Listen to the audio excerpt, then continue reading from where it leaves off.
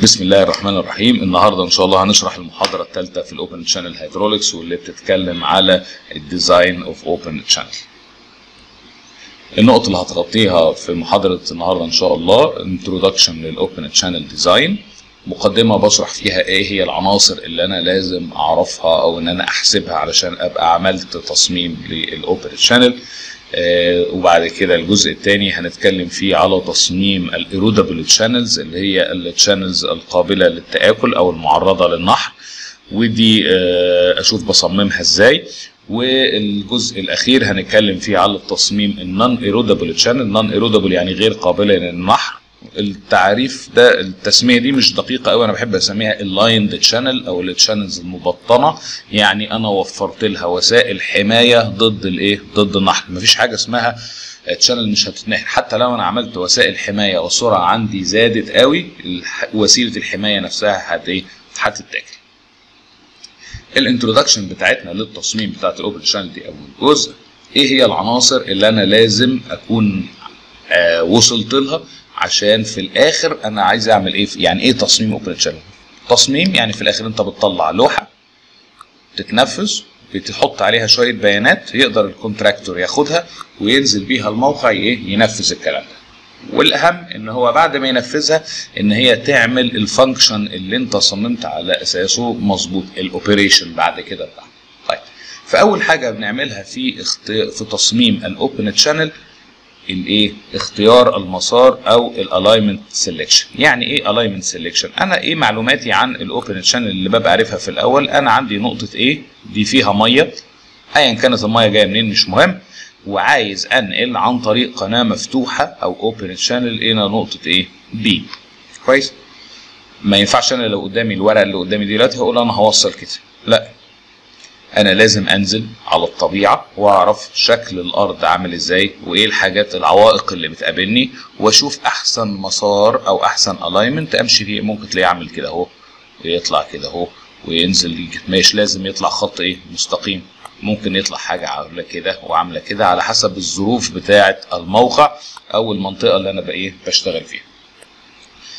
تاني حاجة لازم أعرفها ال bed إيه؟ ال bed slope. إيه هو ال bed slope؟ الميل بتاع القاع. طيب الميل بتاع القاع أنا ال channel دي بحفرها فين؟ في أرض طبيعية. يعني الأرض ماشية كده. لو قلت إن دي أرض طبيعية. كويس؟ تفتكروا ميل القاع هيبقى عامل إزاي؟ أكيد قريب إلى حد ما من ميل الأرض الإيه؟ الطبيعية. ليه بعمله قريب من ميل الأرض الطبيعية؟ عشان ما يجيش أعماق الحفر عندي تزيد قوي أو ال channel بتاعتي تتكشف يعني أنا ما ينفعش آجي أعمل channel ميلها كده فبحفر في الأول الحتة دي وهاجي في الآخر أحفر مين؟ الحتة دي. وبوازن ما بين كميات الحفر والردم عشان أحاول أستخدم material من اللي موجودة فين؟ في الموقع. يبقى بعد ما اخترت ال channel alignment بشوف شكل الأرض الطبيعية اللي فين؟ اللي على ال alignment اللي أنا اخترته. يعني أنا لو قلنا ال alignment بتاعنا اللي هو الخط خلينا نلونه لون تاني اللي هو ده هنا. ده ال alignment بتاع اللي أنا اخترته بتاع التلتشان عايز أختار ال bed slope فأنا عايز أعرف ميل لازم أعرف الأول الأرض الطبيعية فين. فهجيب عند النقطة دي والله دي كان منسوبها كذا. عند النقطة دي اللي هي بتبعد عنها شوية كان منسوبها كذا. عند النقطة دي كان منسوبها كذا. عند النقطة دي كان منسوبها كذا. عند إيه اللي منسوب إيه؟ منسوب الأرض الإيه؟ الطبيعية. يبقى أنا على مسار ال open channel طلعت ده كده شكل الأرض الإيه؟ الطبيعية اللي عندي. أنا عايز أعمل إيه؟ عايز أعمل تصميم للميل بتاع القاع. قلنا ميل القاع تقريبا بيبقى ماشي مع الأرض الطبيعية إلى حد ما. طيب. يبقى أنا كده خلصت المسار وخلصت ال longitudinal slope أو ميل القاع بتاع ال open channel ال cross section shape إيه هو ال cross section shape شكل القطاع العرضي بتاع ال channel كويس ساعات بنختاره غالبا بنختار الشكل ده ده أكتر شكل بنختاره في واحد عايز يعملها مثلث في واحد عايز يعمل مستطيل واحد عايز يعملها مدور على حسب الظروف وعلى حسب الإيه؟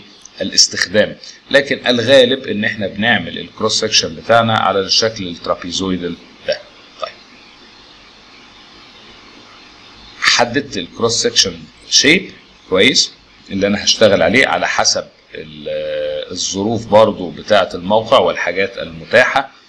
ببدأ بعد كده أطلع الايه ال elements بتاعة ال cross section إيه هي ال elements اللي أنا محتاجها عشان أعرف ال cross section لازم أعرف والله العرض بتاعه أنا عايز أنزل أنفذ. يعني أنا ينفع أرسم لك سكتش كده أهو. أقول لك روح نفذ لي ال open channel دي؟ لا طبعا. أنا أنت كده ما عندكش إيه بيانات. أنا عايز هناخد مثال مثلا القطاع ال trapezoidal ده. أنا عايز القطاع ده أحط عليه البيانات علشان المقاول ينفذها. كويس؟ ده هنا الأرض الطبيعية. المقاول عايز ينفذ إيه؟ لازم أديله العرض تحت اللي هو مين؟ ال B كويس. وعايز إيه؟ الميل الجانبي.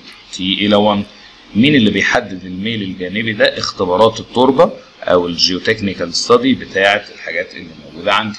طيب المقاول عايز يعرف إيه كمان؟ عايز يعرف ال total depth خلي بالك الفرق ما بين ال section depth هو ال total إيه؟ depth دي كويس؟ أنا لو اديته دي ودي ودي مع ال profile يقدر ينفذ الإيه؟ ال channel بس ما نتلخبطش في حاجة قلت دلوقتي قلت بديله مين؟ ال total depth بس وإحنا بنصمم ال open channel اللي قلنا معادلات Manning والكلام ده ما بنتعاملش مع ال total depth إحنا بنتعامل مع ال wetted section أو ال section اللي ماشية فيه المية فبتعامل مع مين؟ مع Y. لما باجي بحسب area بحسب ال area دي مش ال area ال total لما باجي بحسب wetted perimeter بمشي على الخط اللي هو اللي مبلول اللي هو اسمه wetted لغاية هنا. طيب. المقاول لما بيجي ينفذ بديله دي ليه دي أكبر شوية من ال Y؟ بسيب مسافة أمان فوق سطح المية اسمها ال free board كويس؟ علشان لو حصل إن المية زادت لأي سبب من الأسباب ما تجيش المية تطلع فين؟ تطلع فوق الجناب وتغرق الأراضي اللي حواليها. يبقى دي البيانات اللي أنا بديها للإيه؟ للمقاول. آخر حاجة بعملها إن أنا والله أنا لو عندي ال open channel دي هل ال open channel دي محتاجة lining ولا لا؟ يعني إيه lining يعني تبطين هبطنها بإيه؟ في مصر إحنا في 100000 نوع من أنواع ال lining كويس؟ flexible lining و rigid lining والتبطين بس اللي في مصر إحنا بنستخدمه يا إما riprap اللي هو الحجر يا إما خرسانة. فباجي هنا أعمل طبقة فوق البتاع عشان أحميها. من التآكل أو اقلل الايه ال seepage. يعني إيه seepage؟ لو أنا الأرض دي رملة في الصحراء وال channel open channel عاملها كده ومش مبطنها يعني سايب الجناب بتاعتها رمل. أول ما تمشي المية فيها على المنسوب ده هتلاقي المية بتنزل بترشح وتنزل فين؟ في الأرض الميه الجوفية. فبدل أنا أنا عايز أنقل من نقطة A إلى نقطة B هنا من نقطة A حطيت مثلا سي 10 متر مكعب هيوصلوا عند نقطة B 3 متر مكعب والباقي هيكون إيه؟ اتشرب في التربة. فباجي ببطن القطاع بتاع ال open channel عشان أقلل الإيه؟ ال seepage ده أحد الاحتياجات للتبطين. الحاجة الثانية لو ال material بتاعتي أو نوع ال soil هنا اللي مايل ده ضعيف جدا ومش هيستحمل السرعات يعني السرعة بتاعت المية دي هتاكل التربة وهتوسع في القطاع فبضطر إيه؟ بحميها أو بوفر لها حماية من التآكل يعني أقدر أخليها تستحمل سرعات أعلى. آه برضو نقطة كده as concept إحنا ما عندناش standard design procedure يعني ما عندكش ورقة تمشي عليها تقول إن أنت والله أنت لو مشيت على هذه الخطوات تبقى إيه؟ عملت تصميم كويس. واولها لأن هي في حاجات كتيرة معتمدة على ال engineering sense وعلى ظروف الموقع. أولها مسار ال channel مسار ال channel ده مفيش كتاب انت هتفتحه يقول لك كيف تختار مسار ال channel بتاع ال open لا دي بتعتمد على الخبرة بتاعتك وعلى الظروف اللي موجودة فين في الموقع. لازم تاخد اعتبارات كتيره جدا وانت بتعمل التصميم. بتقابلك بقى معوقات وانت إيه بتختار. إن أنا لازم أختار أحسن بديل أحسن بديل من ناحية الكوست أحسن بديل يوفر الخدمة أحسن أو ملوش انفايرمنتال امباكتس عالية. كل الكلام ده معتمد على الإيه؟ الجادجمنت. لكن أنت في الآخر عارف الكيو الكيو دي ليها حسابات. عارف الويتد سيكشن ده ليه حسابات. آه دي عاملة بس المهم عندي اختيار. المسار بتاع التشانل ده اللي ملوش معادلات معتمد عليه والايه والبنسلون طيب. عشان إيه العوامل اللي بتأثر على اختيار ال open channel أول حاجة ال accessibility لازم أمشي open channel عندي في مكان accessible أو أقدر أوصل له. ما اجيش في حتة أروح ممشي حتة مش هعرف أوصل لها مش هعرف أعمل أدخل معدات للصيانة ساعات بعمل منشآت على ال open channel فلازم أعمل حتة في يعني أعرف أخش أعمل صيانة فلازم يكون الأرض إيه accessible ال right of way ال right of way يعني الحدود بتاعه الملكية بتاعه ال channel يعني ما اجيش مثلا هقول أنا عايز أعمل open channel عايز انقل ميه مثلا من حتة لحتة وهعمل ترعة في المهندسين. طب هجيب ثمن الأرض منين؟ ما انت لازم تنزع الملكية بتاعت الكلام ده. فهيبقى التكلفة بتاعتك ال open channel اللي انت عملتها زائد نزع الملكيات. فممكن أستبدل الكلام ده ب pumping system بمواسير تمشي تحت الأرض وما يبقاش عندي ما اثرتش على الملكيات. ده برضو أحد الحاجات اللي ال right of ده مهم جدا اللي هو تكلفة الأراضي اللي أنا بحتاجها علشان أعمل المنشأ بتاعي أو ال open channel ال balancing ما بين ال cut وال fill بحاول امي أحافظ ما بين ال cut وال fill عشان ما اضطرش أجيب إيه ردم من بره أو إن أنا أرمي كميات ردم إيه كبيرة بره حدود الموقع بتاعتي. ال existing and planned structure transportation facilities يعني إيه لو أنا عندي طرق أي طريق لو أنا عندي مثلا سي دي منطقة أنا عارف إن هيتعمل طريق هنا وطريق تاني تحتيه دي منطقة سكنية متقسمة طرق كده بالعرض.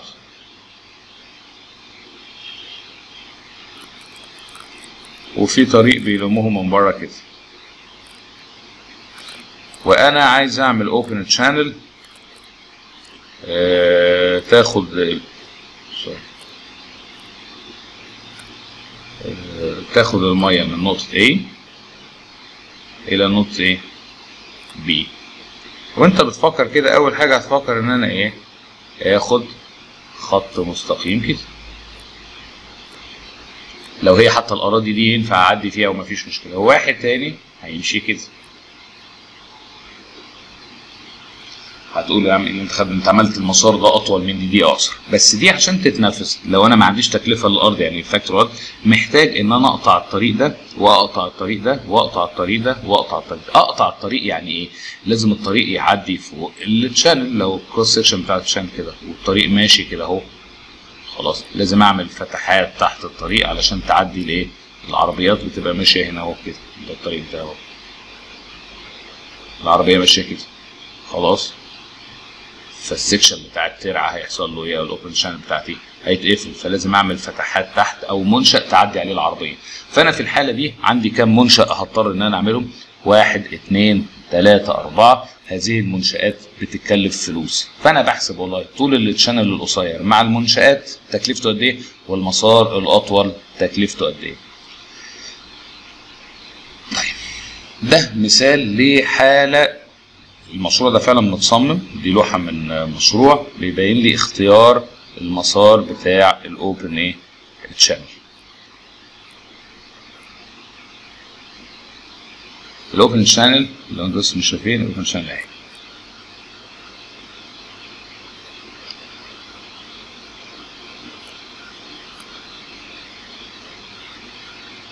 كويس.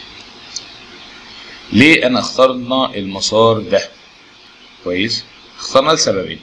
اولا إن أنا عندي هنا منطقة سكنية فلازم أطلع بره لأن تكلفة الأراضي عالية جدا. طب وليه قربت قوي من الطريق هنا؟ عشان أقدر أعرف أعمل صيانة. ان اديشن كمان إن أنا عندي المنطقة دي فيها جبال فيها جبل. لو أنتوا واخدين بالكم مش عارف الصورة واضحة ولا لأ أنا عندي جبل هنا أهو. دي راس الجبل أهو. راس الجبل ونازل كده. فأنا لو ال channel بتاعتي بعدت شويتين كده هخش في الجبل. هخش في الجبل يبقى معنى كده إن الأرض الطبيعية ممكن يبقى شكلها عامل زي حاجة شكلها عامل كده. فأنا لما أجي أعمل ال open channel لازم أحفر كلام أحفر أعماق كبيرة جدا عشان أقدر أخش فاضطريت إن أنا كان أحسن اختيار عندنا إن إحنا نمشي بال open channel إيه؟ لبره. ساعات بضطر أعدي في مناطق سكنية. شايفين ال open channel دي؟ ال open channel دي ماشية في قلب مناطق سكنية. أهو اخترنا أرخص أرض واللي ماشية مع واللي تمشي مع المناسيب بتاعتنا وما يبقاش عليها آه مش محتاج انزع يعني ما كانش ينفع. لو أنا دخلت بس شمال شوية هضطر أشيل كل البيوت دي. طبعا تكلفة نزع الملكيات عالية غير إنك هتعمل social impact سيء. فده مسار open channel معدية في قلب إيه مدينة. دي open channel تقاطعت مع طريق. فين ال open channel بتاعتي؟ ال open channel فين؟ أهي.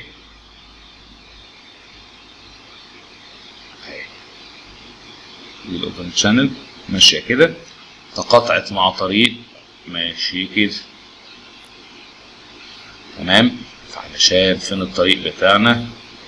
العربيات اهي العربيات ماشيه كده وكده يعني. عشان أعدي المية من تحت الطريق فبعمل إيه؟ فتحات أو كالفرز أو بعمل بريدج يعني ايا كان المسمى بتاعه. هو المهم منشأ علشان تقاطع مسار مجرى مائي مع مين؟ مع طريق بحيث إن الطريق يكمل من فوق والمية تنزل فين؟ تنزل من تحت. وعشان ال losses اللي اتكونت شوية في ال في ال crossing structure ده اضطرينا ان إحنا نوسع شوية ال open channel بتاعتنا. دي حاجات هناخدها في ال design بتاع ال hydraulics بس مش بس اضطريت ان أنا اغير في قطاع ال channel على التقاطع ده. وبالتالي اتكلفت المنشأ ده اتكلفت ان أنا بوسع ال channel فنتيجة ال crossing بتاعي اتكلفت تكلفة زيادة عن تكلفة ال channel وده يخلينا وإحنا بنختار مسار ال channel إن إحنا ن avoid أو نتجنب التقاطع مع الطرق. من منشآت التقاطع التانية مش لازم يبقى إن أنا منشأ التقاطع عندي يكون ماسورة مدورة. كويس أنا ممكن ده أدي الطريق بتاعه أهو أدي عربية ماشية كده أهو اللي باين قدامنا ماشية في الطريق ال channel بتاعتي اللي هي ماشية تحت دي ماشية كده وماشية كده علشان تعدي من تحت الطريق عملت لها ال structure ده ال culvert ده علشان تعدي من تحت تكمل في المسار بتاعها. ده برضو إيه؟ تكلفة.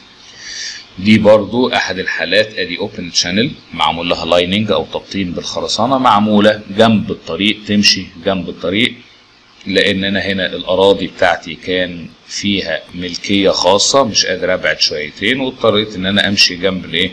جنب الطريق. كويس فده كده اخترت المك... المسار بتاع ال channel طيب بعد ما اخترت المسار تاني خطوة بختار مين؟ ال bed slope. ال bed slope يبقى أنا لازم أعرف إيه؟ شكل الأرض الطبيعية أو مناسيب الأرض الطبيعية على المسار اللي أنا اخترته.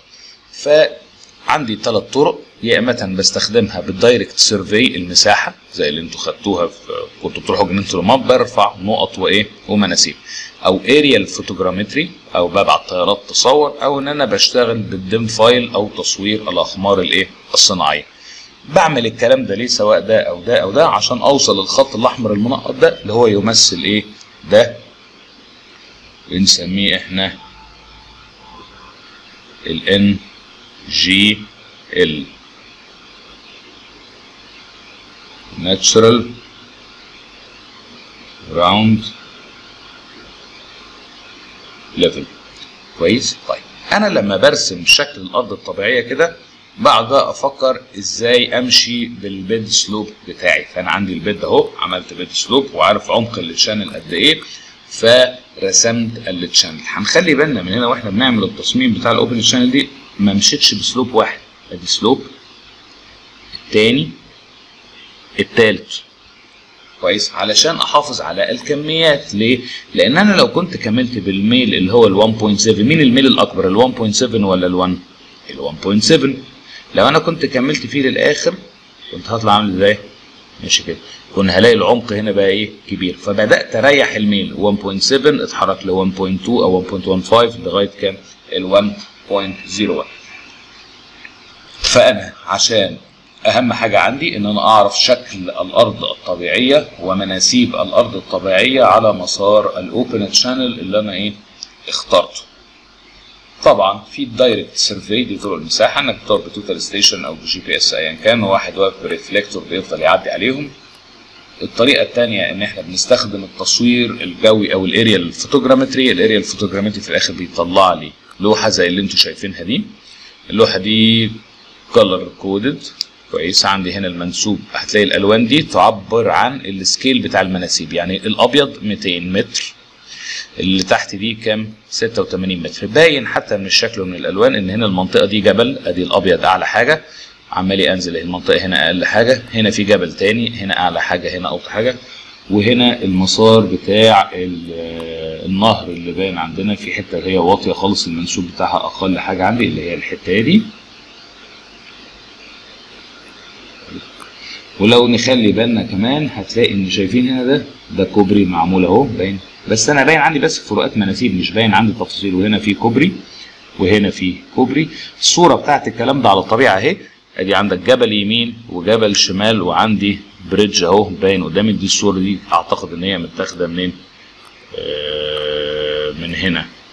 واحد واقف هنا وبيصور. المهم يعني فده الناتج بتاع ال aerial photogrammetry إن هو بيطلع لي خريطة أو لوحة عليها الايه عليها المناسيب.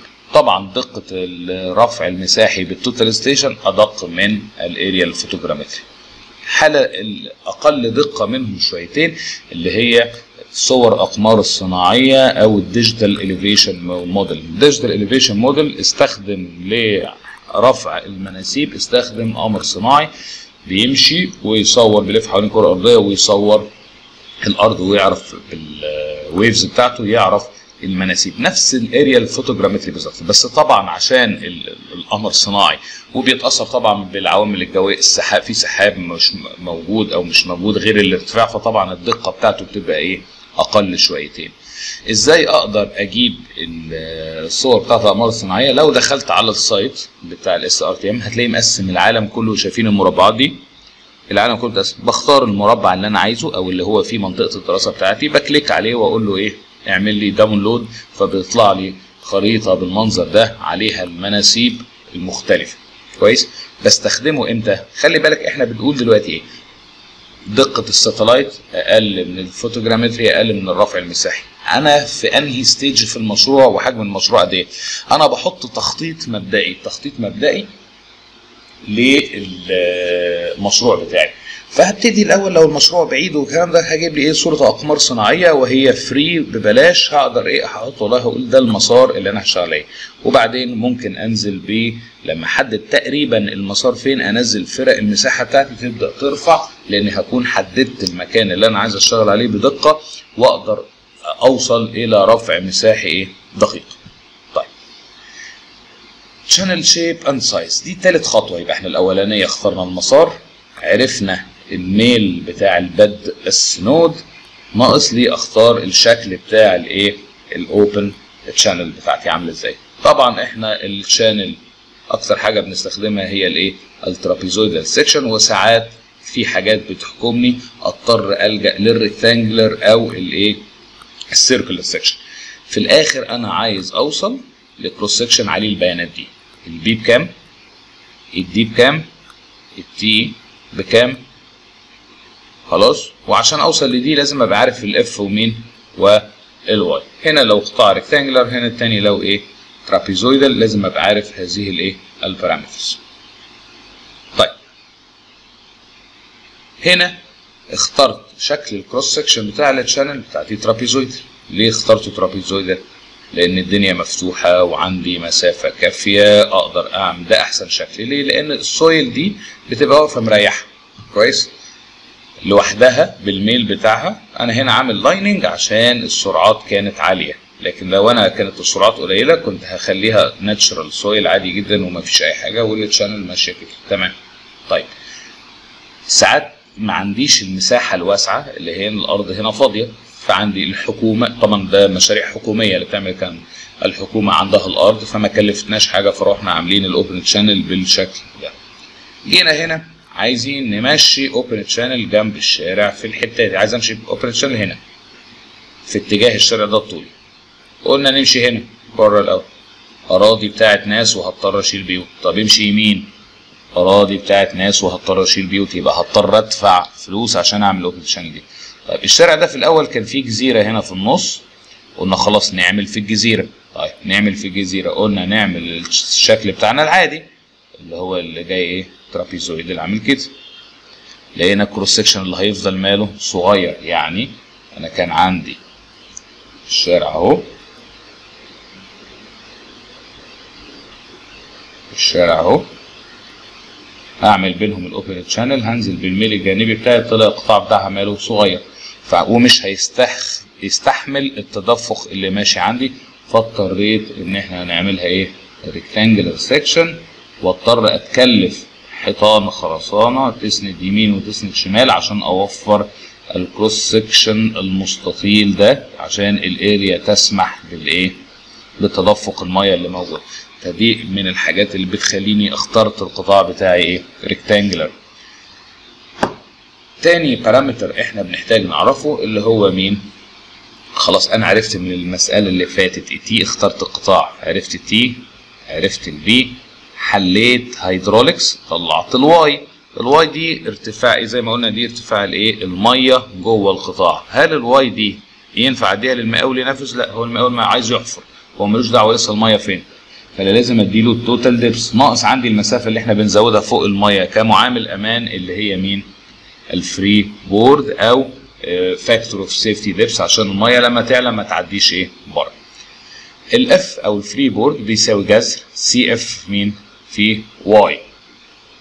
ال Y عرفناها ناقص إن أنا أجيب مين؟ ال C F. ال C F دي function في الإيه؟ في التصرف. يعني لو أنا جيت هنا أهو التصرف بتاعي point ستة. لو قلنا ده مثلا دي Q خلينا ارسمها دي Q ودي هنا ال C F. لو التصرف بتاعي 0.6 هتطلع ال C F بكام؟ بنص. لو ب 85 تطلع ب 0.786 يبقى ماشي كده كده كده. انت تعرف ال Q بتاعتك فين؟ تخش على ال curve ده أو تحسبها بالنسبة والتناسب تحسب ال C F تعوض في ال Y ومنها كده طلعت الايه ال freeboard بتاعك. ال freeboard تجمعه على ال Y تقول ال depth بتاعي ال total بتاع القطاع بيساوي رقم معين وده أقدر إيه؟ أطلعه. طيب. ال side slopes بحسبها منين؟ ال side slopes طبعا اللي بيتحكم فيها؟ نوع التربة. ال geotechnical engineer أو المهندس بتاع ال geotechnical بيقول لك والله المفروض على فكرة ال slide دي كانت تبقى قبل ال freeboard لأن أنا لازم أبقى عارف ال slope الأول عشان أطلع ال Y كويس وبعدين أبقى عارف مين ال F عشان أدي مين ال D يبقى ال slope بنجيبه الأول.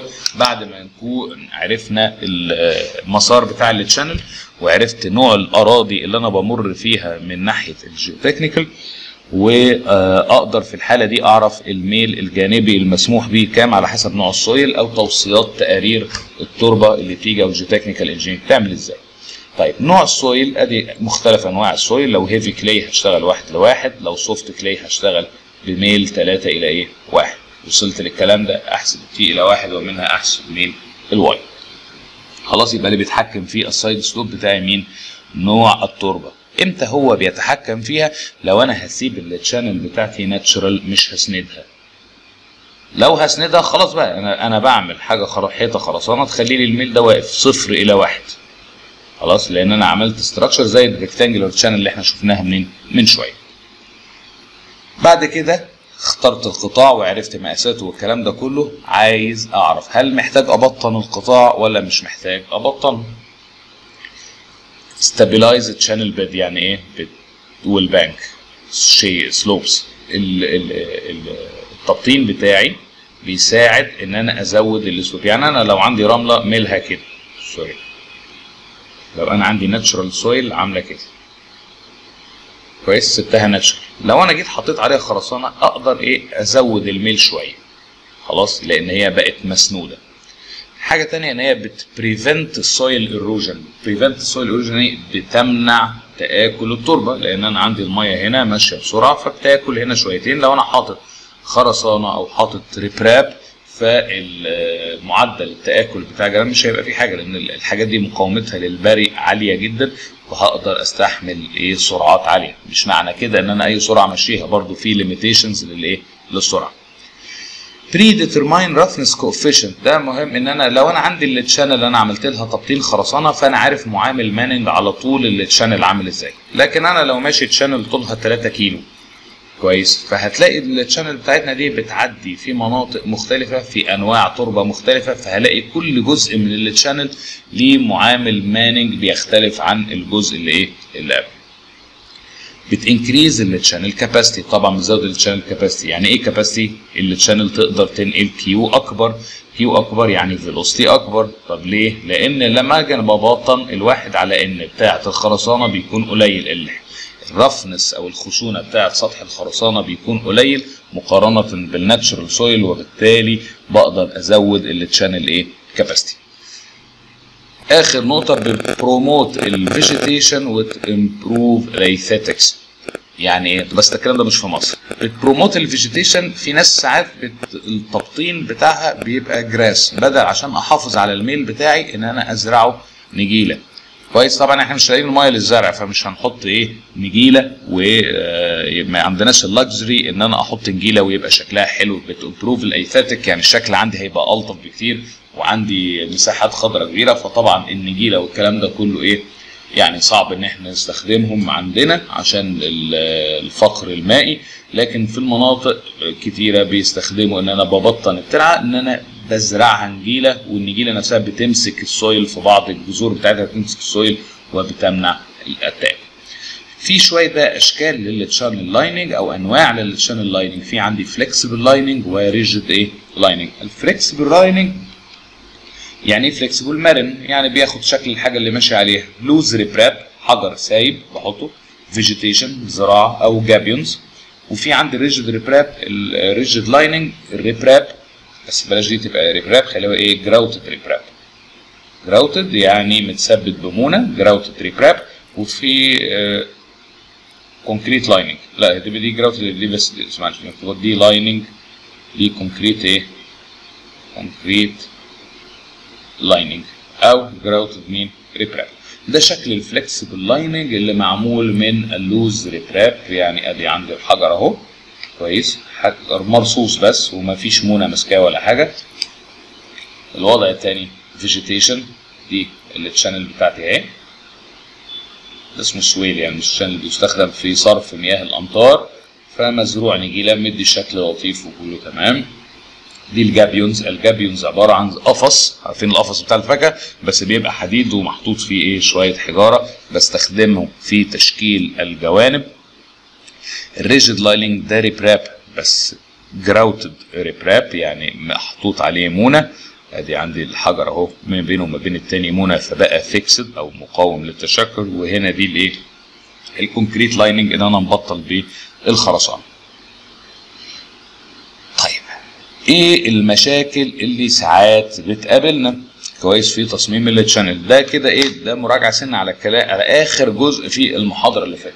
ده كانت في مشروع ودي آه الشارع ده كان بيستخدم كمخر للسيل. يعني سامحين إن المية تمشي فين؟ في الشارع. وجم هم لو تخلوا بالكم عند البيوت. البيوت بيعمل إيه؟ بيعليها شويتين على جنب عشان المية لما تمشي في الشارع ده كويس ما إيه ما تخشش جوه البيوت. هتلاقي البيوت مرفوعة كده side slope وبعد كده محطوط هنا الإيه البيت. وده الشارع الأسفلت اللي بتمشي فيه مين؟ العربيات. إيه اللي حصل؟ شوية جيران اشتكوا قال لك المية المرة اللي فاتت جت عندنا. طيب المية جت عندنا ليه؟ آه دخلت البيوت. طيب رحنا نعاين الموضوع ده فشفنا ال cross section بتاع ال cross section عبارة عن إيه؟ أنا اللي رسمه الجزء الأحمر ده riprap الجنب ده هم مدبشينه. الجزء الأحمر الناحية الثانية ده riprap. وهنا ده القاع بتاع الإيه؟ ال channel بتاعتي. القاع عبارة عن حتتين ناحية أسفلت وناحية إيه؟ أرض طبيعية. غالبا اللي حصل إمتى؟ عايزين نحسب نحله ك hydraulics. فأنا لازم أجيب مين؟ معامل ماننج معامل ماننج بتاعي بس. فعندي 500 n موجودين. دي قيم n اللي موجودة عندي. دي n في ال grouted riprap دي n في الحته الاسفلت الصفراء ودي n في الحته الاسفلت الايه الخضراء زي ما قلنا قبل كده إن أنا بشوف هل أقدر أعامل ال cross section بتاعي أقدر أقسمه إلى cross section صغيرين؟ لو ينفع أعمل كده بحل كل cross section لوحدي. ما بقدرش بجيب ال n equivalent بالمعادلة بتاعت مين؟ السجن. طيب على شكل القطاع ده قسمت القطاع بتاعي إلى two section آدي section واحد والناحية الثانية إيه؟ section اثنين يعني إيه أقدر أقسمهم section يعني لما أجي اخط هنا يبقى هنا في bed وجنب على الأقل وهنا bed وإيه؟ وجنب على الأقل. يبقى ده يتعمل section وده يتعمل إيه؟ section طب أنا عايز أحل ال section ده هلاقي فيه كذا إيه؟ Manning coefficient يبقى لازم أجيب لهم Manning coefficient أفكر ينفع يتقسم؟ لا ما ينفعش لأن جيت خط خط هنا مفيش bed والهنا مفيش إيه؟ side يبقى ده ال section بتاعي. عايز أجيب له equivalent Manning هتطلع ال n هنا 0.028 وال n الناحية الثانية 0.0 كام 2 4 حليت ده as a section لوحده وده as a section لوحده وحسبنا في الآخر ال Q اللي بتمر عندي في الايه في الناحيتين. كويس وجمعناهم يبقى ده ال Q اللي بتمر في القطاع بتاعي خلي بالك إن السرعة هنا بتبقى مختلفة عن السرعة هنا علشان الايه اختلاف معامل الاحتكاك. طيب. عايزين بقى إيه؟ نخش في التصميم والسرعة. أنا بسمح بسرعة قد إيه والكلام طيب بنصمم ال channel بتاعتي على حاجتين. هل هي erodible أو non-erodible erodible زي ما قلت قابله للتآكل non-erodible بلاش التعريف ده أو خلينا نقول lined channel non-erodible يعني متوفر لها حاجات للحماية من التآكل. ال erodible لازم إيه أنا عندي ال channel طبيعية وما عملت لهاش لا حطيت لها تبطين ولا عملت لها حاجة. ف هسيب المية تمشي. فه control المية إن السرعة بتاعتي ما تسببش الايه التآكل. ال non-erodible بسمح بسرعات أعلى آه على حسب نوع التبطين يعني هتلاقي في ناس تقول لك ال riprap ممكن أسمح لغاية سرعة أربعة ونص الخرسانة لغاية 6 كل الكلام ده طبعا متر في الثانية. أنا عموما ما بعملش احبش السرعة عندي تزيد عن أربعة لأن السرعات بيبقى لها مشاكل تانية غير التآكل. ف على حسب نوع التبطين السرعات بإيه؟ بنسمح إن هي تزيد. لكن أنا عندي في المجاري الطبيعية بلاقي إن السرعة عندي مثلا 0.75 لما بطن تخيل انت النطة في السرعة ما بين 0.75 ل 4 فهتلاقي عندك ال capacity بتاعت ال channel أو قدرة ال channel على نقل التدفق بتعلى جدا نتيجة ال lining عشان كده ال lining قلنا بيستخدم في زيادة ال channel capacity بالإضافة إلى منع ال seepage ومنع الايه soil erosion هنعدي على كل واحدة بالتفصيل. هنبتدي بالتصميم بتاع ال erodible channels أو ال channels القابلة للايه للتأكل. بمنتهى البساطة بنحلها بطريقتين في حاجة اسمها ال permissible velocity وال tractive force method ال permissible velocity يعني إيه permissible velocity السرعة المسموحة. بشوف والله نوع ال material بتاعتي إيه؟ بتاعه ال open channel واقدر أسمح بسرعة لغاية كام؟ والله أنا عندي ال material اللي موجوده الراجل بتاع ال geotechnical قال لي عندك fine sand طيب ال fine sand ده بيسمح بسرعة قد إيه؟ واحد وربع. خلاص وأنا بصمم ال open channel بتاعتي لازم السرعة المتوسطة للقطاع. mean flow for design discharge على التصرف اللي أنا بصممه لازم تكون أقل من ال permissible إيه velocity اعرف منين ال permissible velocity في عندي جداول موجودة على حسب نوع ال soil عندي ال permissible velocity fine sand 0.6 coarse sand 1 و2 silty sand 0.6 سيلتي آه sandy silt قصدي 0.6 silty clay 1.1 المهم على حسب نوع ال soil بحدد السرعة الإيه؟ المسموحة. فأنا لما باجي بصمم السرعة اللي هتطلع عندي في القطاع لازم تكون أقل من الإيه؟ ال permissible velocity أو أقل من ال V max طيب علشان آه إيه الخطوات بقى عشان أحل؟ كلام كويس ده كلام جميل وعايز أصمم أطلع السرعة. يبقى أنا بص إحنا قبل كده قلنا إيه؟ في طريقتين للحسابات قبل كده. قلنا إزاي أجيب ال Q؟ وإزاي أجيب ال Y طب أنا عايز أصمم إن أنا أجيب ال velocity كويس. ال velocity أنا عارف مين؟ Manning عارفه ده من نوع ال soil.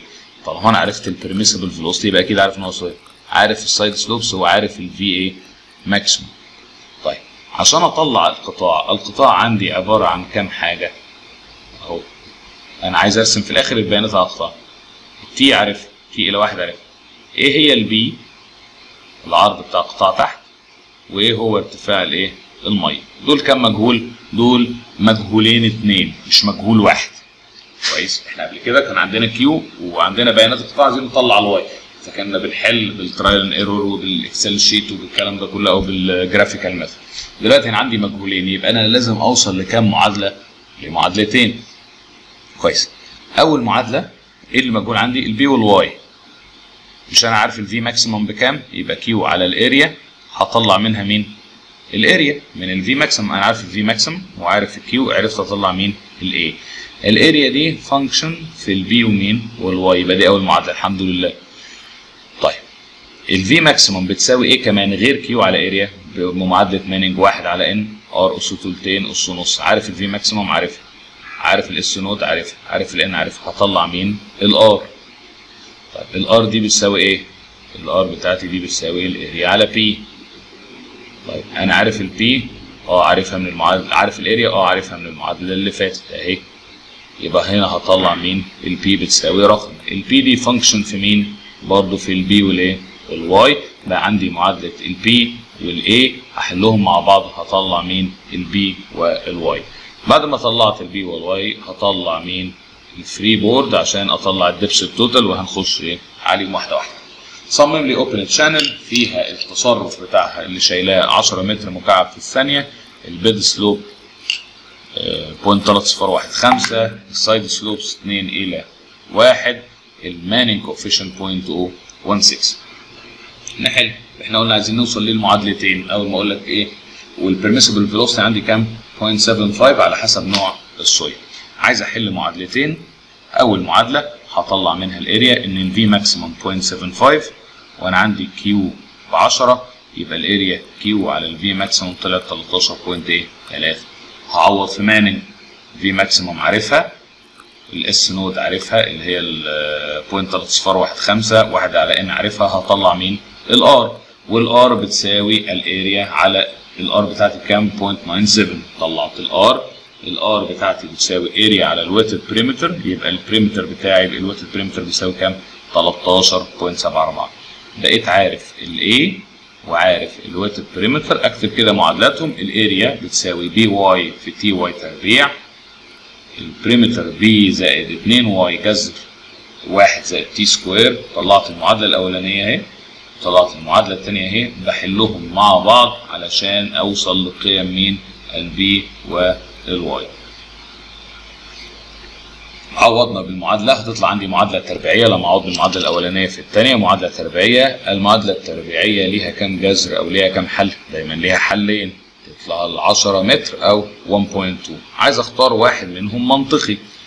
المنطقي إن إحنا الأعماق بتاعتنا دي بتكلم open channel فهاخد مين؟ ال 1.26 ال y ب 1.26 more practical شويتين فهنعوض هيطلع ال b بكام ب 8 شكلها معقول إن القطاع بتاعي يطلع 8 متر في إيه؟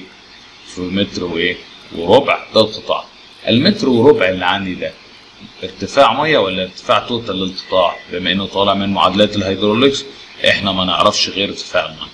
طبعا عايز أقول للراجل ينفذ يعني عايز يديه يبقى ناقص لي هنا مين؟ ال freeboard. ال freeboard أجيبه منين؟ لو أنتوا فاكرين ال F بتساوي لسه قايلين جذر؟ CF في مين؟ في y أنا عرفت ال y ال CF بجيبها منين؟ كان جدول كده صغير. ال Q باين كانت point 6 تطلع CF كذا وال Q ب 5 مش فاكر 10 تطلع المهم يعني هجيب ال CF وأعوض في المعادلة هجيب ال freeboard بتاعي أو قيمة ال F هتطلع 81 سنتي يبقى أنا عندي آدي ال depth آدي ال freeboard آدي العمق بتاعي ولازم لما تكون مطلوب عندك مسألة كده مطلوبة تتحل في الامتحان تعمل لي سكتش عليه كل البيانات اللي إحنا قلناها. يبقى أنا عارف إنك حسبت ال y حسبت ال b حسبت 2 لواحد دي عارفها ده ال depth ده ال freeboard بتاعك يبقى أنت كده طلعت قطاع ينفع إن أنا إيه أنفذه في الطبيعة وعليه المعلومات إيه كاملة. بالإضافة للقطاع الطولي بس ده مش هينفع أنتوا تطلعوه في سنة ثالثه لأن ده محتاج الشغل بتاع ان أنا ارسم ال profile بتاع الايه ال channel طيب. عايز أحل ال erodible section باستخدام ال tractive method إيه هي ال tractive method بشوف والله نوع ال soil بتتحمل shear stress قد إيه وأنا بصمم القطاع بتاعي بحيث إن هو ال shear stress يكون أقل من المسموح. من الآخر يعني لو أنا عندي ال bed ده أهو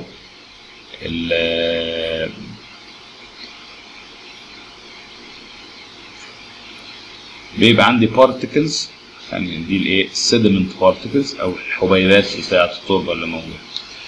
المية ماشية كده فالمية بتعمل إيه؟ friction friction ده عمال يدحرج الحاجات في إيه؟ فوق بعضها وممكن يحصل لها suspension تتعلق فوق وفي الآخر هلاقي إن ال particles عمالة تطلع من هنا ويتكون عندي إيه؟ حفرة. كويس؟ طيب. ده توزيع ال shear stress على الإيه؟ القطاع. لو أنتوا فاكرين معادلة ال shear stress tau nought بتساوي جاما في R في S nought قلناها فين دي؟ قلناها في إثبات معادلة تشيزي. لما قلنا إن ال W sine theta بتساوي tau nought في ال perimeter في delta x وإحنا بنشوف اتزان القوة بتاعت وزن ال control volume مع قوة الايه الاحتكاك. فده الاحتكاك اللي عند الجاما في R في S ده التوزيع ما بتبقاش هي جاما في R في S فدي ال distribution بتاعها عند ال bed أقصى قيمة بتوصل ل 97% وعند طبعا الجناب بتاعتي بتبقى صغيرة فوق وعمالة تزيد تحت لغاية ما توصل للقيمه ال maximum 0.75 جاما في R في اف S. معتمدة طبعا على نوع الحبيبات. لو الحبيبات صغيرة هيبقى الاحتكاك بتاعها يعني انت تستحمل friction force أقل من الحبيبات الأكبر. يعني لو أنا حطيت دبش مثلا في المية فأكيد ده مش هيتحرك لو مهما السرعة. كل ما كانت ال particle صغيرة فاستحمالها لل shear stress بيكون إيه؟ بيكون أقل. فقيمة الاستحمال لل shear stress ده ال tau critical ال tau critical ده اللي هو ال shear stress اللي عنده تبدأ الحركة. فأنا لازم لما باجي بصمم بقول إن ال tau بتاعتي اللي هي الحقيقية بتاعتي لازم تكون أقل منين؟ من ال tau critical يعني ال tau nought أو ال tau اللي بتتحقق عندي نتيجة التصميم بتاعي اللي هي بت act على ال soil لازم تكون أقل منين؟ من ال tau critical بالظبط زيها زي السرعة نفس ال concept السرعة اللي بتطلع عندي اللي هي ال V mean تكون أقل من ال V permissible اللي إحنا قلناها في طريقة التصميم الأولانية. بعمل إيه هنا؟ بخش على curve ات عندي curve ين ال curve الأولاني لل non-cohesive soil. cohesive soil يعني cohesive يعني تمانو تماسك. تماسك يعني لازقه في بعضيها. اللي هي الطين والكلام ده ده cohesive. ال sand وال gravel اللي هي التربة اللي هي الحبيبات دي non-cohesive إيه؟ soil. بعمل إيه؟ بخش هنا والله بخش هنا فين؟ ال average.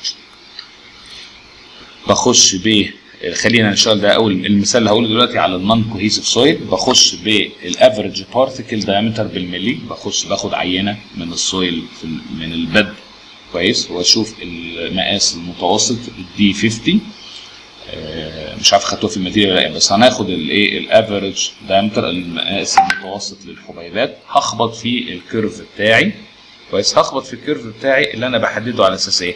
ال curve الأولاني ده clear water التاني مية فيها شوية sediment مية فيها sediment كتير. فخلينا إحنا غالبا بنشتغل على clear water بخبط في ال curve بتاعي أخش شمال طلعت قيمة مين؟ ال permissible unit tractive force ال shear stress المسموح. يبقى أنا كده جبت ال tau إيه؟ critical لما أجي أحل لازم أجيب ال tau إيه؟ بتاعتي. ما تزيدش عن ال tau critical إحنا لما بنحل بنقول جاما في R في S دي هتطلع لنا بالايه؟ بالباسكال. وال curve ات اللي عندي بال pound على feet square بس عشان احول احفظ بس الرقم ده 47.88 باسكال. ال pound per feet square per square feet دي بس مكتوبة غلط معلش. per square feet بتساوي 47.88 إيه؟ باسكال. يعني أنا لو هنا القيمة بتاعتي اللي هي طالعة هنا دي طالعة كام دلوقتي؟ دي 0.02 0.038 وحدتها إيه؟ pound per feet square لما هضربها في 47 تطلع لي بالباسكال عشان أنا عندي جاما في R في S بتطلع بالايه بالباسكال. وهنعوض في المعادلات ونطلع برضو ال depth و ال depth والعرض بتاع القطاع. هنخش على تصميم ال non-erodible channels ودول بنصممهم بطريقة ال best hydraulic section عشان نتكلم جنرال يعني إيه best hydraulic section ال best hydraulic section اللي هو أحسن section يؤدي الوظيفة الهيدروليكية للقطاع. طيب المائي. القطاع المائي دوره يعمل إيه؟ بينقل مية. فأنا لو أنا عندي قطاع مائي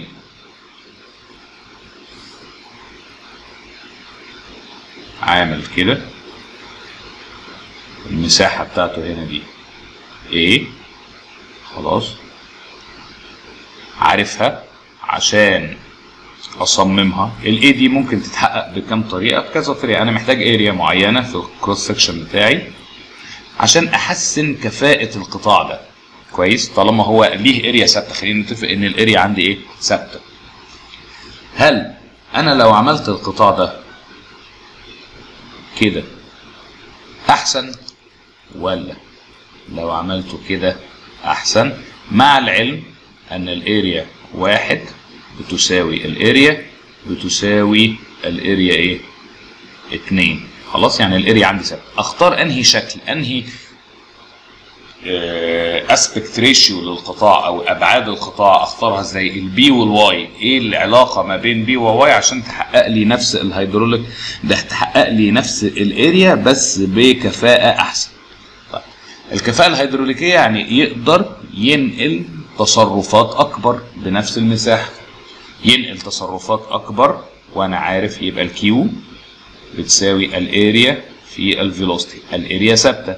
بما إن أنا عايز أكبر التصرف أو أكبر ال capacity بتاعة القطاع يبقى أنا عايز أزود الإيه؟ ال velocity طيب يبقى ده القطاع اللي فيه السرعة أقصى ما يمكن. طيب أقصى ما يمكن يعني إيه؟ أكتب المعادلة بتاعة السرعة عشان أشوف إيه ال parameters اللي ممكن ألعب فيها عشان أخلي ال velocity بتاعتي إيه؟ maximum ال velocity بتساوي واحد على n R أس تلتين S نص بتساوي واحد على n ال area أس تلتين على ال wetted perimeter أس تلتين في ال S إيه أس نص ودي ال velocity إيه هي الحاجات الثابتة عندي؟ الواحد على n ثابت مش هيتغير وال slope ثابت وال area إيه؟ ثابتة. يبقى أنا عندي ال velocity بتتناسب مع واحد على P أس تلتين صح؟ يبقى أنا لو ال P دي بتاعتي كل ما ال P بتاعتي تقل يحصل إيه لل velocity تزيد. خلاص ده كده أثبتناها من المعادلات. نثبتها بال concept اللي إحنا شغالين بيه ال perimeter ده مش هو ده اللي بيحصل عليه احتكاك. ده اللي بيحصل عليه احتكاك وبيسبب مقاومة المية. صح؟ لأن المية بتحك في الجوانب. يبقى أنا كل ما قللت الاحتكاك كل ما كان أحسن وكل ما كانت السرعة هتبقى إيه؟ أكبر. يبقى عشان أوصل لل best hydraulic section يبقى تعريف ال best hydraulic section لنفس المساحة إيه هو القطاع اللي ليه أقل wetted perimeter اللي هو مين؟ P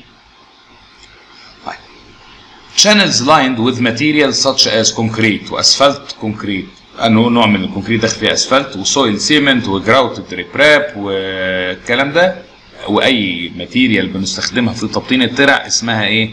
channel عندها rigid boundary rigid boundary يعني إيه؟ غير قابل للتآكل أو جوانب صلب ما بيتحركش ال channel are non-erodible غير قابلة للتآكل to high shear resistance of the lining إيه؟ material. أنا لو جيت في الآخر لو أنا عندي ال channel بتاعتي دي تراب وأنا جيت رحت كاسيها خرسانة أكيد هتستحمل سرعة وتقاوم التآكل أكتر منين؟ من إن أنا لو سبتها تراب من غير ما أحميها فأنا حميتها وبالتالي قدرت أستحمل سرعات إيه؟ أكبر. في الكتب هتلاقي الحدود بتاعة السرعات عندنا بتختلف باختلاف نوع مادة التبطين ومقاومتها. فهتلاقي معظم الناس بتتكلم إن أنا لو عندي grouted riprap بتكلم على سرعة بسمح لغاية سرعة 4.5 متر في الثانية. ولو أنا عندي concrete بسمح لغاية 6 متر في الثانية عشان ما يحصلش عندي تآكل. بس من يعني الخبرة العملية إن السرعات العالية دي بتعمل مشاكل غير التآكل. فإحنا أنا بفضل يعني أنا عموما في الشغل إن ال velocity لا تزيد عن 4 متر في الثانية غير لما أكون إيه مضطر أو الدنيا مزنوقة عندي أقدر إيه أستحمل سرعة أكبر شويتين. طيب ال design objective بتاعي ال most economic section اللي هو ال best hydraulic section اللي هو عبارة عن إيه؟ أقل wetted perimeter أقل محيط.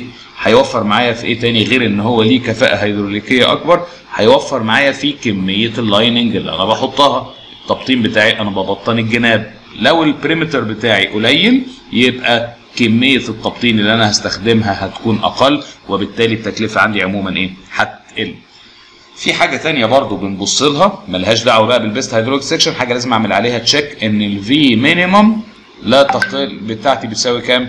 0.6 متر per second يعني إيه V minimum أقل سرعة مسموحة. إحنا كل اللي بنتكلم عليه أقصى سرعة أقصى سرعة أقصى سرعة. ما جبناش سيرة ال V minimum طب ليه بشترط سرعة minimum أو سرعة دنيا لل flow؟ دايما المية اللي ماشية بيبقى فيها حاجات عالق sediment عالق فيها أو فيها رملة جاية من من سيول. بتاع فيها suspended load أو فيها مواد عالقة. لو أنا المية دي مشيت بالراحة هيحصل إيه؟ إن ال sediment ده هيحصل له إيه؟ هيترسب على القاع ويضطر يقفل لي ال open channel أو يبقى عندي ترسبات في القاع تطلع مثلا حاجة عاملة كده. وبالتالي المساحة بتاعة ال cross section ال effective معايا هتقل. هيحصل عندي إيه؟ هلاقي إن منسوب المية عالي هلاقي إن الكفاءة الهيدروليكية بتاعة القطاع قلت. مختصر الكلام إحنا لما بصمم حاجة هعمل لها تبطين أو lining بستخدم ال concept بتاع ال best hydraulic section عشان أقلل ال wetted perimeter وأرفع الكفاءة الهيدروليكية للقطاع وأقلل طول التبطين. خلصت الكلام ده؟ لازم بعد ما أخلص التصميم أعمل check على السرعة ال minimum بتاعتي إن هي ما قلتش عن 0.6 عشان ما يحصلش عندي إيه؟ ترسيبات.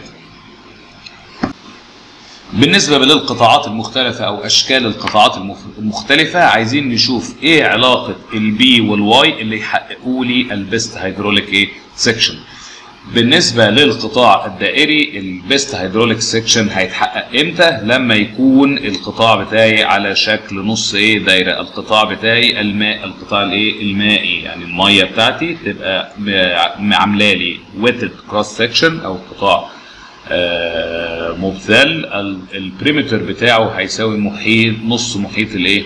الدايرة. يبقى شكل القطاع بتاعي عبارة عن نص إيه؟ دايرة بالظبط.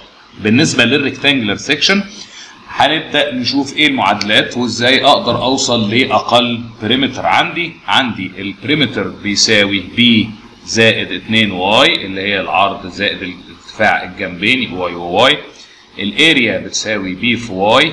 هكتب ال B بتاعتي بتساوي ال area على Y آه يبقى ال perimeter بتاعي هشيل ال B وأحط A على Y و2 Y هنا. هفاضل الكلام ده زي ما إحنا عارفين عشان نجيب ال minimum وال maximum ب differentiate وبعد كده أساوي قيمة التفاضل بإيه؟ بصفر.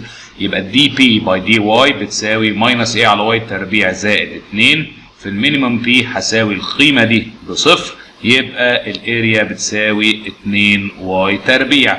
بما إن ال area بتساوي 2 Y تربيع وال area عندي بتساوي B في Y يبقى هستنتج من المعادلة دي إن ال B بتساوي كام؟ 2 Y. يبقى المعادلة اللي بتحقق لي ال best hydraulic section للقطاعات ال rectangle هي إن B بتساوي 2 Y.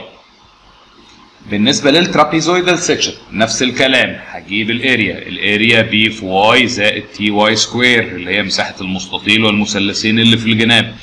ال B بتساوي A على Y ناقص t Y. جبت ال B في ناحية طلعت المعادلة. ال perimeter بتاعي B زائد 2 Y جذر 1 زائد t square. هنمشي في الخطوات بتاعتنا ونفاضل ونساوي نتيجة التفاضل بصفر. هيطلع عندي المعادلة التي تحكم ال best hydraulic section في ال trapezoidal section إن B زائد 2 t Y بتساوي 2 Y في الجذر التربيعي لواحد زائد إيه t square يعني أنا لو عوضت في المعادلة دي هيطلع لي ال best إيه؟ hydraulic section. لو النسب العلاقة ما بين ال B وال Y دي اتحققت يبقى أنا عندي best hydraulic إيه؟ section. أي شكل تاني هيجي لك في الامتحان أو يجي لك في ال sheet لازم تجيب ال wetted perimeter بتاعه وتفاضل بالنسبة لل y وتساوي نتيجة التفاضل بصفر وده يطلع لك العلاقة ما بين ال b وال y يبقى إحنا طلعنا كده لغاية دلوقتي لثلاث علاقات لل best hydraulic section. ال best hydraulic section بتاعي في القطاع الدائري إن القطاع يكون على شكل نص دايرة والقطاع بتكلم على القطاع الدائري. المبتل يعني اللي فيه مية. لو عندي rectangular section تكون ال y دي بتساوي نص ال b يعني ال b عندي هنا بتساوي 2 y. لو trapezoidal section يبقى b زائد 2 t y بتساوي 2 y في الجذر التربيعي الواحد زائد t square. نشوف example بالارقام على الكلام ده. Design channel with a trapezoidal cross section. حلو. Using best hydraulic section إيه approach. و check ال v إيه minimum يعني بعد ما أخلص التصميم هحسب السرعة. وأشوف هل السرعة بتاعتي أكبر أو أقل من الإيه؟ السرعة ال minimum اللي هي بتساوي كام؟ 0.6 متر per second عشان نمنع ال sedimentation أو تراكم المواد الرسوبية في الإيه؟ القطاع الهيدروليكي. عندنا دي ال data اللي عندي الاس نود والتي والكيو ومانينج كوفيشنت الان هنعوض في المعادلة بتاعة ال best hydraulic section اللي إحنا شفناها في ال slide اللي فاتت اللي هو b زائد 2 t y بتساوي 2 y في 1 زائد t تربيع. أنا عارف ال t given في المسألة. هتطلع لي علاقة في الآخر ما بين ال b ومين؟ وال y هعوض عادي في معادلة مانج ال Q بتساوي 1 على n A R أس تلتين S أس نص. مستغل العلاقة اللي, اللي فيها إن ال b بتساوي كام؟ بتساوي 0.47 إيه y هحل هوصل لمعادلة هطلع قيمة ال y هلاقي إن ال y بتاعتي طلعت بكام؟ بمتر واحد وسبعة من عشرة إيه؟ متر. يبقى ال b بتساوي كام؟ 0.47 في 1.7 بتساوي إيه؟ 0.8 متر. يبقى أنا عندي ال b ب 1.8 وال y بكام؟ بواحد وسبعة من عشرة. طيب عايز أتأكد ال section بتاعي أخباره إيه لما أنا آجي أعوض في أو أو أ check على السرعة ال minimum؟ أنا عندي ال b أهي 0.8 عندي ال y 1.7 متر أقدر أحسب ال cross section area وأقدر أطلع ليه ال velocity طلعت ال velocity 2.11 يبقى أكبر من ال v minimum لأن إحنا عارفين إن ال v minimum اللي هي بتساوي 0.6 متر per إيه per second كويس؟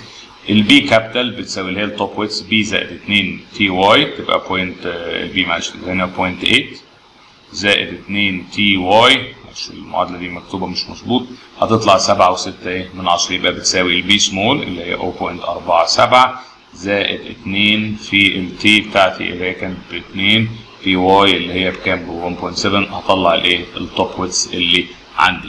لازم بعد ما أخلص أروح راسم له section عليه الأبعاد دي. خلاص؟ دي حتة زيادة إحنا مزودينها عايز أتأكد نوع ال flow بتاعي. هل هو subcritical ولا supercritical بحسب ال Froude number ال Froude number بيساوي v على جذر g D وال D هي مين؟ ال hydraulic depth. خلاص؟ مش مش قطر. ال hydraulic depth بيساوي إيه؟ ال area على ال top width اللي هو ال B capital اللي هو ده كده عندي ال top width بتاعي اللي هو ال B capital بحسب ال area أقسم على ال B جبت ال hydraulic depth. عوضت في المعادلة دي طلع 0.6 إيه؟ 9 0.69 فهو أقل من واحد. اذا أن ال flow بتاعي شغال إيه أو بيمشي ب subcritical flow مش سوبر إيه critical عايزين نتكلم بقى شوية على خصائص ال flow في ال circular sections طبعا إحنا ك open channel مفتوحة أو الكلام ده إن إحنا نعمل circular section نادرا ما بنضطر نعمل الكلام ده أو في حالات قليلة بس غالبية مواسير الصرف الصحي أو مواسير تصريف مياه الأمطار بتمشي كأنها open channel لأن هي بتبقى المواسير قطاعها دائري المواسير القطاع بتاعها دائري وغالبا ما بتبقاش full فهي بتبقى السطح بتاع المية متعرض لل atmospheric pressure فبتعامل معاها كأنها open channel cross section بس half open channel ليها circular cross section وده القطاع المائي بتاعها. طيب إيه هي الخصائص بتاعتها أو المعادلات اللي إحنا بنحسب فيها؟ قلناها لكم قبل كده دي بدلالة الزاوية ثيتا سواء كان ال y بتاعتي فوق ال center line أو ال y ارتفاع المية تحت ال center line هي هي نفس الإيه؟ نفس المعادلات. بطلع لها criteria عادي جدا. بطلع area وبطلع perimeter وبطلع بعوض في معادلة مانينج كأنها open channel عادية ما فيش فيها حاجة. عايزين بقى إيه؟ شوية علاقات أو نسب نقدر نطلعها ما بين التصرف اللي موجود في ال open channel لما يكون الارتفاع y إيه علاقته بال y full إيه هي ال y full لما يكون ارتفاع المية في قلب ال channel بتاعتي أو في قلب ال pipe بيساوي الإيه؟ ال diameter يعني عايز علاقة y على D. كل y على D لما بتتغير. أنا ال range بتاع التغير بتاعها منين لفين؟ بيبتدي من صفر اللي هي موجودة تحت لغاية واحد لما يكون ال y بتاعتي بتساوي مين؟ D. طبعا إحنا قلنا إن لازم القطاع بتاعي يبقى السطح بتاعه متعرض لل atmospheric pressure فإحنا هنخلينا نقول إن دي مثلا 0.999 D كويس؟ يعني ما لحقناش نلمس السطح اللي فوق وعندي إيه؟ سنة هواء صغيره كويس؟ فعايز أجيب العلاقات ما بين ال velocity ل different values of y على D وعايز أجيب التصرف ل different values of y على D كويس؟ بس هقسم الفي على الفي فول إيه هي الفي فول الفي فول هي السرعة لما يكون المية مالية القطاع. وعايز أجيب Q على Q full إيه هي ال Q full لما يكون القطاع مليان. نسبة التصرف اللي عندي للتصرف لما يكون القطاع مليان. طبعا أنا عندي ال area لما يكون القطاع full بتساوي كام؟ pi D square على 4 ال wetted perimeter بيساوي كام؟ محيط الدايرة بيساوي pi في D ال hydraulic radius بيساوي ال area على ال wetted إيه؟ perimeter اللي هو بيساوي كام؟ D على 4 pi هتروح مع ال pi والتربيع هتروح مع D تبقى D على كام؟ على 4 بعوض بطلع ال Q full في المعادلة بتاعت مانينج بطلع Q full وبطلع ال velocity إيه ال full بفضل بقى أعوض في المعادلات دي عند different values of y طبعا القيمة اللي أنا عارفها إن عند ال y بصفر أكيد السرعة بصفر والتصرف بكام؟ بصفر. هاجي هنا أهو عند ال y بتاعتي الصغيرة دي هشوف ال y على D بكام؟ وهعوض في المعادلات أطلع ال velocity وأطلع ال Q وأقسمهم على ال V اللي هتطلع لي. على ال V full وال Q على ال Q full هنلاقي إن شكل وأفضل ازود شوية أحسب عند مثلا ال y على D ب 0.1 0.2 0.3 0.4 لما تبقى y على D ب 0.5 يبقى أنا ماشي كده في نص الايه ال circular section وأكمل لغاية فوق هلاقي ده شكل العلاقة اللي بيطلع عندي. علاقة ال V على ال V full بال y على D يعني لو قلت والله لو أنا ال y على D بنص يعني أنا عند ال center line بتاع ال pipe كويس هتطلع ال V على ال V full تقريبا بكام؟ ب لا دي الأزرق ده ال Q تطلع ال Q على ال Q full بتقريبا كام؟ بنص. طيب ال V على ال V full هتطلع كام؟ هتطلع تقريبا 1.03 هنرسم من الأول عند ال y على D 0.1 و0.2 0.3 و0.4 لغاية ما أوصل لواحد. طبعا عند واحد لما تكون ال y على D بواحد يبقى ال V على ال V full بواحد وال Q على ال Q full بكام؟ بواحد. دول النسب أقصى تصرف أقصى نسبة maximum velocity ال maximum velocity اللي هي فين؟ فين ال V على ال V full أهي دي أقصى سرعة عندي هنا. وأقصى تصرف عندي موجود هنا أهو بيساوي آه عند بيحصلوا عند y على D ومرة 0.8 ومرة 0.9 وعند different values of theta دي ال characteristic أو ده توصيف لتغير التصرف في القطاعات الدائرية عند ارتفاع أعماق مختلفة للإيه؟ للمية. وشكرا ونشوفكم المحاضرة اللي جاية بإذن الله.